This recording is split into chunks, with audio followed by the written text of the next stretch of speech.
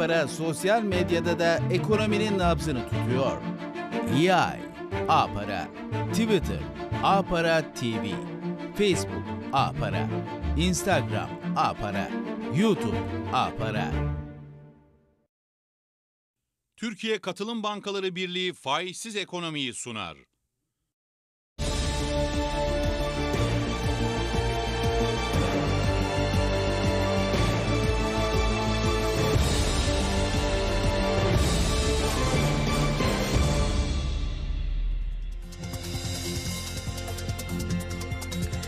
Faizsiz ekonomiye hoş geldiniz. Faizsiz ekonomide bugün katılım bankalarında sukuk ihraçlarını, yeşil suku ve sürdürülebilirliği konuşacağız. Tabii manşetimiz büyüme rakamları olacak. Bugün Emlak Katılım Finansal Kurumlar Müdürü Ali Kemal Küçükcan'la birlikteyiz. Hoş geldiniz yayına Ali Kemal Bey.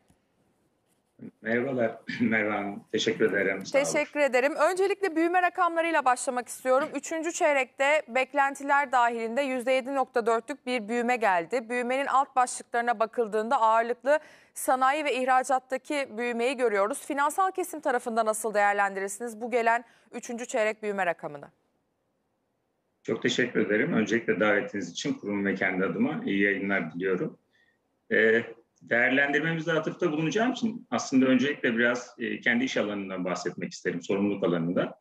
E, 2019 Mart ayında kuruluşumuzdan itibaren emlak katılımında uluslararası bankacılık ve e, muhabir banka ilişkileri alanında, alanından sorumluyum. E, muhabir banka ilişkileri bölümü olarak, uluslararası bankacılık e, bölümü olarak temel fonksiyonlarımızdan birisi e, dış ticaret e, alanında faaliyet gösteren müşterilerimizin e, ithalat ihracat işlemleri yaptıkları bölgelerde e, yurt dışı muhabir bankalarla ilişkiler tesis, ilişkiler kurup bu ilişkilerden oluşturduğumuz e, finansman imkanlarını e, müşterilerimizin istifa, istifadesine sunmak. Tabii biz e, bu ilişkileri tesis ederken e, muhabir bankalarla, yurt dışı bankalarla, yurt dışı yatırımcılarla çok e, e, uzun süreli görüşmeler yapıyoruz, periyodik görüşmeler yapıyoruz. Bu görüşmelerde hem bankamızı hem de ülkemizi e, muhabir bankalara, yurt dışı bankalara tanıtıyoruz, anlatıyoruz. E, ülkemizi yurt dışı bankalara anlatırken aslında e, genç ve dinamik nüfusumuz, e, üretim potansiyelimiz, e, Türk insanımızın e, özellikle girişimci odaklarını dikkate alarak %4-5 seviyesindeki bir büyümenin e, Türkiye için çok da büyük başarı olmadığını, bizim için zaten olması gereken rakamlar olduğunu anlatıyoruz. E, böyle bakınca tabii %7.4'lük büyüme e, ülkemiz için e, memnun edici bir gelişme. E, bir de ilaveten e, çeşitli kaynakların, ekonomistlerimizin analizlerine baktığımızda görüyoruz ki e, inşallah e, yıl sonu itibariyle ülkemizin büyüme rakamı çift taneli rakamlara ulaşacak gibi gözüküyor. %10.2 seviyelerinde bir büyümeye ulaşabileceğimiz gözüküyor.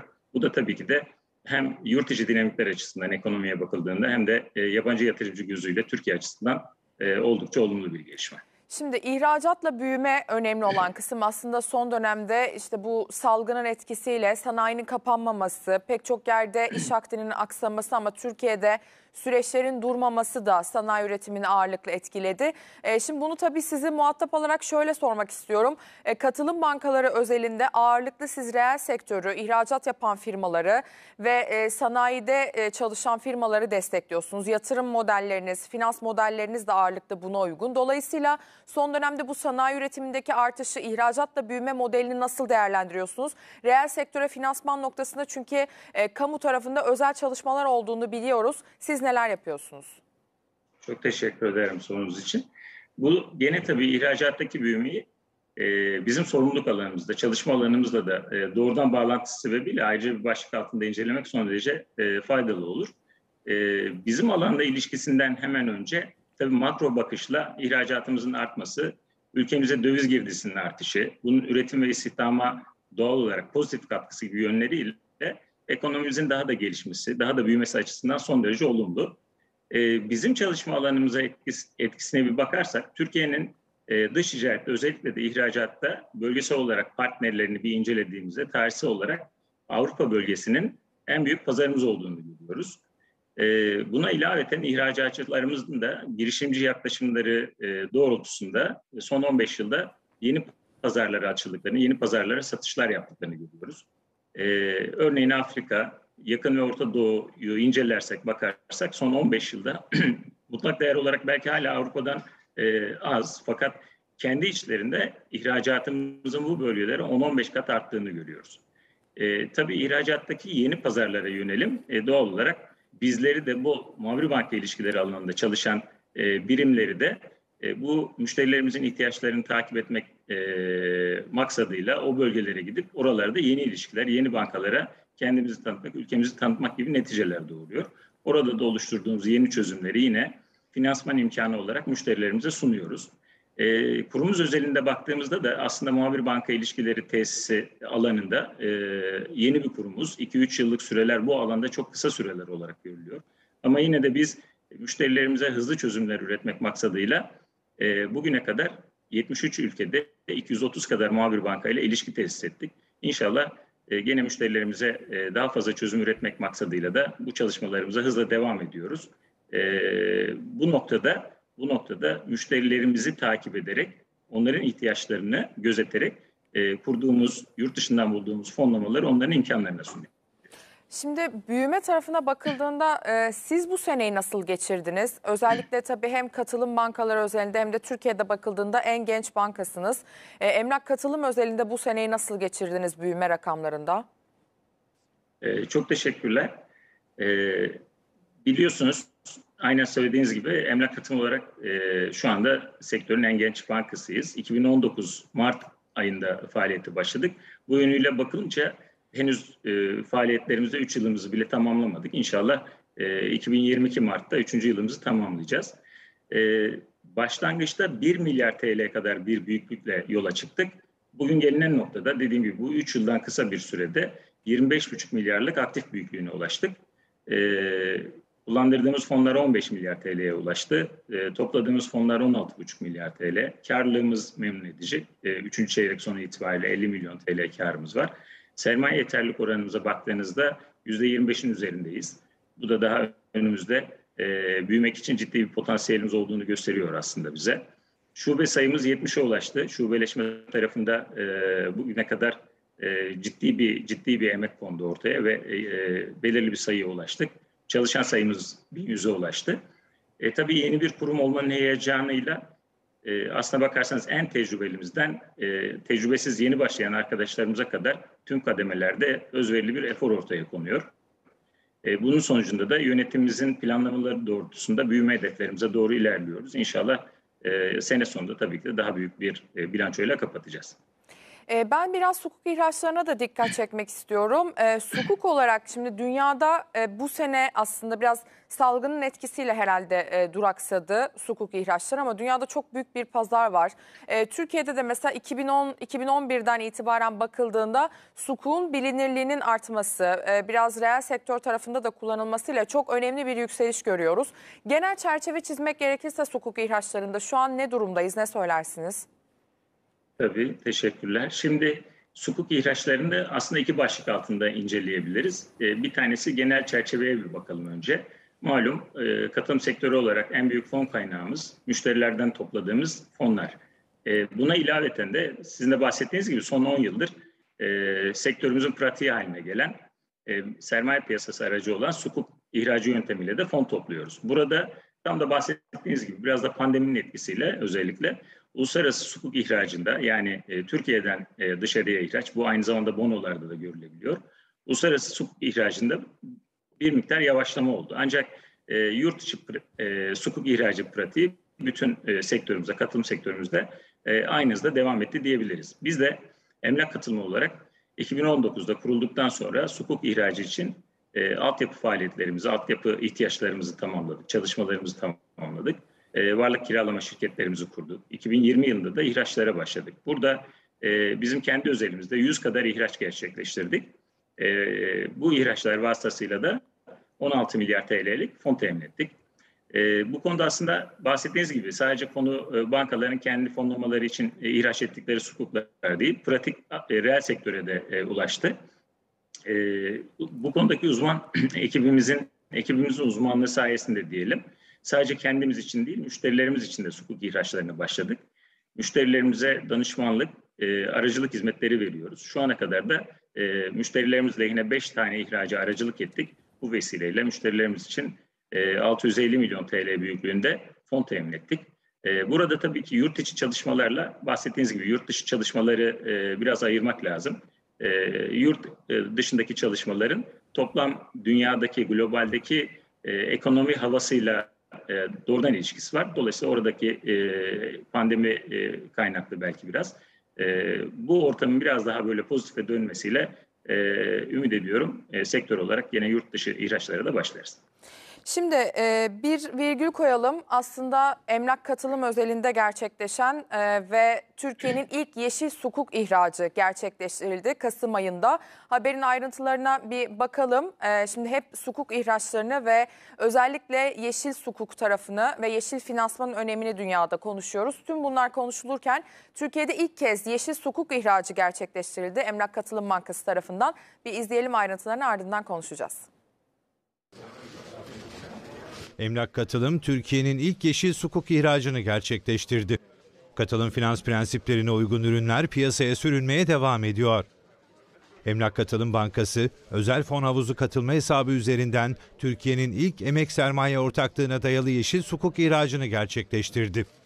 Nisan 2020'den bu yana 15 milyar liranın üzerinde kira sertifikası ihracı gerçekleştiren banka, 8-9 Kasım tarihlerinde talep toplamasını yaptı. Türkiye'nin ilk emek sermaye ortaklığına dayalı yeşil sukuk ihracı yapıldı. Emlak katılım yeşil sukuk ihracıyla karbon emisyonu azaltımına yıllık yaklaşık 2000 tonluk katkı sağlamış oldu. Emlak Katılım Bankası Genel Müdürü Nevzat Bayraktar yaptığı açıklamada sektörün sürdürülebilir büyümesine katkı sağlamak için dünyada örneği olmayan yeni sukuk modellerini Türkiye'de hayata geçirdiklerini söyledi.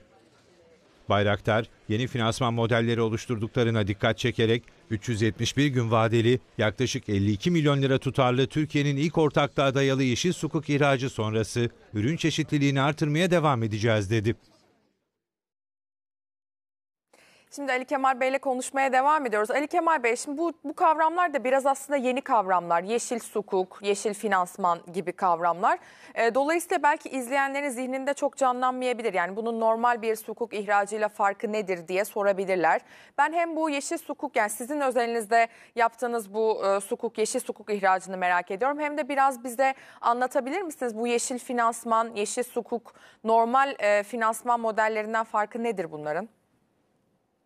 E, tabii ki. E, teşekkürler konuyu gündeme getirdiğiniz için. Aynen sizin de bahsettiğiniz gibi aslında sektörümüzde sadece e, Türkiye için değil, dünyada, globalde çok çok öne çıkan konulardan, odak konulardan birisi haline geldi. Sadece yeşil değil aslında. Sürdürülebilirlik, sosyal ve yeşil diye aslında konuyu ele almamız belki daha doğru olur. E, aynen sizin haberde de özetlediğiniz gibi aslında orada çok güzel detaylara değindiniz. İsterseniz öncelikle ben bir bizim yaptığımız işlemle alakalı bir evet, miktar bilgi vereyim. Lütfen. Sonrasında da Buyurun. e, şimdi katılım sektörü için e, aslında yenilikçi bir ürün olarak e, yeşil sukuk ürününü ilk biz e, ihraç ettik. Yeşil sukuğu ilk biz ihraç ettik. Ancak bu tabii e, başka başka alanlara evrilecek neticeleri olabilir bunun. E, özellikle de yeşil sukuk ihracına e, rağbet eden yabancı yatırımcıyı yurt içine e, Türkiye'ye kaynak olarak e, kaynaklarını Türkiye'ye aktarmak maksadıyla güzel bir alan var burada. Bizim için ihraç tutarı e, aslında bir pilot uygulama gibi düşünelim biz bunu. E, çok miktarı büyük değil ama 52 milyon TL tutarında bir ihraç yaptık. Aslında bu bir e, dediğim gibi bizim için bir pilot uygulama oldu. Bu başlangıçtan sonra inşallah buralarda biraz daha derinleşme çabalarımız devam ediyor. E, yönetimimizin de bu konuya çok ciddi emeği ve oryantasyonu var. Çok da ciddi bu alanda e, uzman ekiplerimize destekle e, buraları genişletmemizi istiyorlar. E, burada ihraca dayalı özel bir fon havuzu oluşturduk. E, aslında ihraç gerçekleşmeden önce ciddi bir altyapı çalışması gerekti. Burada e, biz kurum olarak sürdürülebilir finans, yeşil ve sukuk, sosyal sukuk çerçeve kılavuzumuzu oluşturduk. Kılavuzu oluştururken uluslararası e, standartları dikkate aldık. Uluslararası Sermaye Piyasaları Birliği, İCMA kısaltması, e, İslam Kalkınma Bankası e, ve aynı şekilde yine Malezya'da daha evvel e, ihraç edilmiş yeşil sukukların e, yeşil sukuklar için kullanılmış e, uluslararası standartları kılavuzumuza dahil edip bu çerçevede bir sukuk e, ihraç ettik. E, ihraca konu e, fon havuzu hakkında da ikinci e, bağımsız ikinci parti görüşü aldık. Bu görüşe göre aslında bu görüş şu demek oluyor. E, bizim bu fon için sukuktan oluşturduğumuz fonları aslında yeşil enerji üretimi alanına yüzde yüz olarak kullandırdığımız teyit ediyor bu görüş. Aynen sizin gene e, haberde bahsettiğiniz gibi e, bu konuyla alakalı e, profesyonel ölçümlemeler, hesaplamalar da yapılabiliyor. Bizim oluşturduğumuz fondan kullandırdığımız fonların, kullandırdığımız projelerin e, karbon salınımı konusunda 2000 ton kadar karbon salınımını azalttığını tespit etti e, hesaplamalar. E, aynen söylediğiniz gibi gene emek sermaye ortaklığına dayalı yapısı, yeşil teması yönleriyle de katılım sektörü açısından yenilikçi, öncü bir işlem oldu. E, burada yatırımcıya ulaşma yönüyle biliyorsunuz daha evvel muhakkak sohbetler olmuştur bu konuda e, sektörümüzden. E, sukuklar e, sadece kom, e, İslami e, yatırımcıya değil, konvansiyonel yatırımcıya da ulaşabiliyor. Bu yeşil sukuk ise aynı zamanda yeşil temasına yatırım yapmak isteyen yatırımcılara da ulaşmak yönüyle ciddi bir avantaj sağlıyor. E, işleme özel e, fon havuzumuzun getirisi haftalık yayınlanıyor. Ayrıca havuzda yer alan projeler de BDDK'ya e, düzenli olarak raporlanıyor. Yani bu yönüyle bakıldığında hem şeffaflık hem de hesap verilebilirlik yönleriyle önemli bir ihraç oldu. Evet. E, bu arada ihra, ihracımızı takip eden e, yabancı yatırımcılardan da bu yeşil alana yatırım yapmak isteyen uluslararası kuruluşlardan da direkt doğrudan biz onlara gitmeden onlar bizle temas ederek bu alanda daha ileride beraber ortak başkaca çalışmalar yapabileceklerini bize ilettiler. Evet. Ee, inşallah inşallah bu alanı beraberce yani bütün sektör olarak geliştirmemizin tabii ki de hepimize faydası olacak. Burada yeşil sukuk dediğimiz şey tanım olarak şöyle bakalım. Ee, malum gene dünyada e, en önemli konulardan bir tanesi bu e, karbon salınımı. E, herkesin yani bütün kesimlerin aslında reel sektörün, bankacılık sektörünün herkesin dikkat ettiği bir alan. Yeşil enerji yani sürdürülebilir enerji anlamında e, bir projeniz varsa bu projeyi finanse etmeye daha çok arzu ediyor, etmeyi daha çok arzu ediyor Hı hı. yatırımcılar. E, yeşil e, sukukun e, geleneksel sukuktan e, ayrımı bu diyebiliriz kısaca. Peki. Ee, ben şimdi süremiz Burada tabii- daraldı. Bu sürdürülebilirlik ve sendikasyon tarafına girmek istiyorum aslında Ali Kemal Bey. Sizin uzmanlık alanınız Tabii çünkü. Ee, Tabii. burada aslında Türkiye'deki bankalarda sendikasyon kredilerini biz okuduğumuzda hep genelde işte Türkiye'ye güven olarak okunur bu. Ee, ama biraz da aslında bu yurt dışından sağlanan sendikasyonlarda şimdi sürdürülebilirliğin de öne çıktığını söylüyorsunuz. Ee, neye bakılıyor burada? Özellikle Türkiye'deki bankaların nasıl bir potansiyeli var? Çok teşekkürler. Aslında hakikaten çok çok güzel gene bir konu. Ee, tam böyle e, önümüzdeki günler, günlerde, önümüzdeki dönemde gündem belirleyecek konulardan bir tanesi bu da. Ee, burada değerlendirmeye bir e, hızlıca bir rakam vererek başlayalım. BDDK'nın aylık bankacılık verilerine baktığınızda sektördeki sendikasyon türü borçlanma miktarı yaklaşık 15 milyar dolar seviyesinde.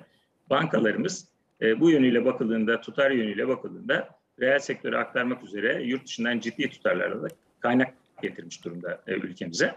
Geçen hafta İstanbul'da emlak katılımı olarak bizim de katıldığımız e, yıllık olarak düzenlenen çok da geniş katılımlı bir e, forum gerçekleşti. Bonds, Loans and Sukuk başlıklı foruma e, yurt dışı ve yurt içinden hem reel sektör temsilcileri hem de banka temsilcileri katıldı. Forum kapsamında e, birçok paneller düzenlendi. Alanlarında tecrübeli konuşmacılar tam da bu alanda e, mevcut durumu aynı zamanda ileriye yönelik olarak da sektörün, gelişmelerin gidişatı doğrultusuna ilişkin görüşlerini paylaştılar. E, iş alanımız gereği bu benzer platformlara aslında e, uluslararası gelişmeleri takip maksatlı elimizden geldiğince katılmaya çalışıyoruz. İlk kez bu kadar yoğun şekilde neredeyse tüm panellerde sürdürülebilirlik, yeşil ve sosyal temaları fonlama işlemlerinin odak noktası olarak öne çıktı. 2021 yılında gerçekleşen, Türkiye'de gerçekleşen sendikasyon ve ihraç işlemlerinin %50'den fazlasının sürdürülebilirlik temalı olduğu da panellerde vurgulandı. Evet. Bu yönüyle bakınca aslında e, ülkemizin Paris Anlaşması'nın imzası, bizim de kurum olarak bağlı olduğumuz Çevre ve Şehircilik Bakanlığımızın ismine iklim değişikliğinin ilavesi gibi gelişmeler, bütün bunları dikkate alırsak aslında sürdürülebilirlik konusunun hem Evet. bankacılık hem de reel sektör açısından ciddi önem kazanacağını görebiliyoruz. Peki. Çok teşekkür ederim Sayın Ali Kemal e, Küçükcan yayına katkı için, değerlendirmeleriniz için. E, konular malum uzun. Sözümüz olsun bir daha ağırlayalım sizi. Daha geniş Peki. geniş konuşalım. Çok teşekkür ederim. Sağ olun Çok yayına katkı için. Biz teşekkür ediyoruz. Emlak Sağ Katılım olun. Finansal. Kurumlar Müdürü Ali Kemal Küçükcan'ı ağırladık. Faizsiz ekonomiyi bu hafta noktalıyoruz. Yeniden görüşmek üzere. Hoşçakalın.